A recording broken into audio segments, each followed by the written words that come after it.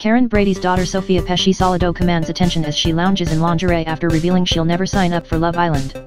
She recently declared she would never appear on Love Island, despite sharing the occupation of many former contestants.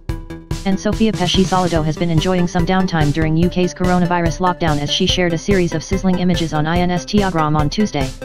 The Apprentice star Karren Brady's daughter, 23, turned up the heat as she slipped into yellow lingerie while relaxing at home. Catching the eye, the influencer displayed her toned frame in a lace sheer bustier and matching briefs as she set up an impromptu shoot. The glamour model complimented her barely there number by lounge underwear with a selection of dainty silver jewelry. With her Victoria's Secret-inspired curls cascading down her back, Sophia highlighted her complexion with neutral-toned, dewy makeup. Her sizzling display came after she insisted that she would never appear on ITV2's hit dating series. The show has seen the likes of fellow influencers and models Molly-Mae Hague, Jourdan Riane, and Molly Smith join the series. However, Sophia insisted she'll not be following in the footsteps of past contestants from the beauty industry.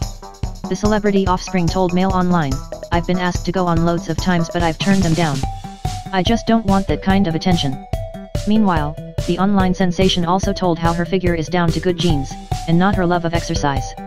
Sophia claimed, I never work out I went for a run for the first time in ages the other day and almost died.